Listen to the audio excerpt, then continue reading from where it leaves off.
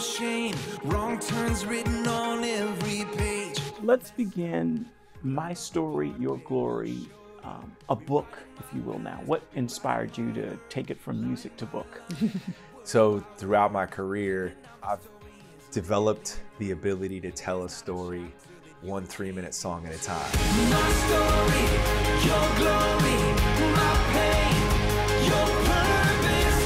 Often than not, I'll get to the end of a song and I'll feel like I still got more to say about that topic.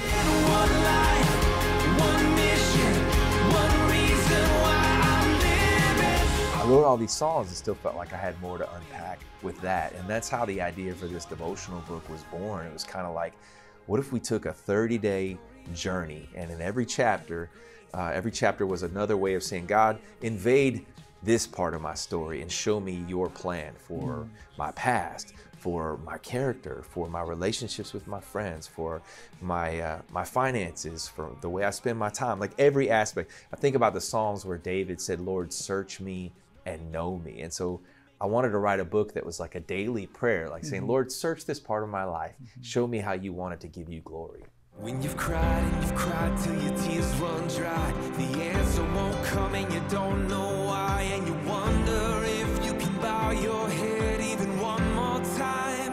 Don't stop praying. Are you intentionally highlighting the less than perfect parts of us? Oh, you better believe it. it. Because I think that's, you know, too often the times or the parts of our stories that the enemy does his best work in making us believe that it can't be redeemed or Yeah. it can't be used by God. Single word you're saying, so don't stop praying. I don't know what to do with these broken chapters of my story. I'm learning at running to the Father and placing those chapters in His hands and saying, Is there anything you can make good out of this? And uh, man, it's an amazing thing that happens when you take those broken parts of your story, place him in the hands of a healer, and He shows you that truly nothing is wasted. Now, you've written a devotional. Have you gone through it as well? Yeah. And, and you know what's kind of neat is I, I saw my wife the other day in her quiet time. She was reading through the devotional herself. So it's being tried and tested in the West House, you know? and that's, I will say, that's a great question because I wrote the book in the way that I like to read devotional books. Mm-hmm. And, and I never want a book to take over uh, the most important book, which is God's Word. Yes. And so I wrote this book in a way that could come alongside your personal quiet time. And man, the pages are filled with scriptures where if you're on a flight or something, don't have your Bible, you can read these Bible verses. And then there's some blank pages where you can write your story. After all, it's called My Story, Your Glory. So it's an opportunity for you to think about your story, to write it down, and then maybe return to it in moments when you need to be reminded of something that God showed you or how faithful He's been throughout the story of your life. Take me back to the music that inspired this, that album, which I believe was number one. Um, Let's just say it was. what do, do you recall what sparked that project?